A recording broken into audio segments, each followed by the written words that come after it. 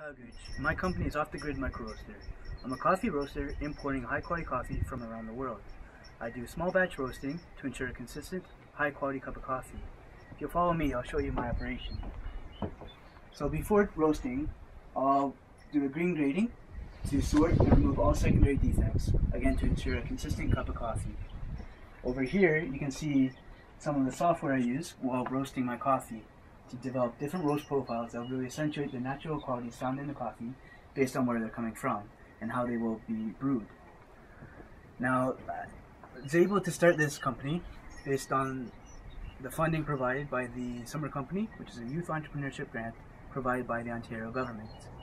This program not only provided me with the capital to get started, but also provides mentorship to help support with venturing into new markets. One of my mentors is Paul Beaver.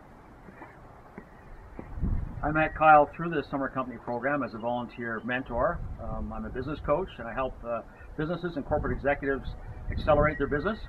And it's been a real treat to meet Kyle and help him with his business and uh, be, be some advice to him. If nothing else, I do not understand all the subtleties of coffee, but I've certainly learned a lot. So I learned a lot from being involved in the mentorship program. And Kyle, I was able to uh, uh, spend a day with him yesterday, and we actually, uh, I was able to introduce him to several innkeepers and a restaurateur and a chef uh, to uh, to start establishing some new markets for him.